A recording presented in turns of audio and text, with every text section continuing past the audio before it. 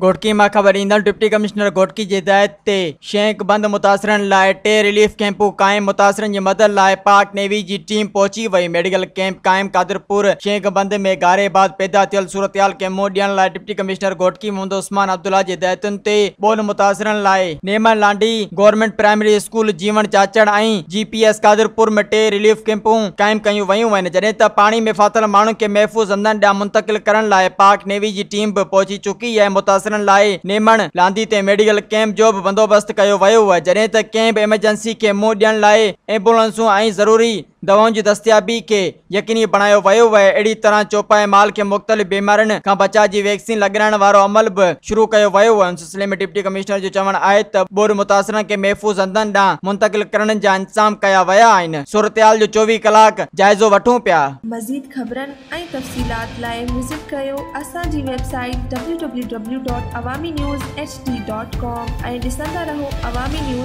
पिया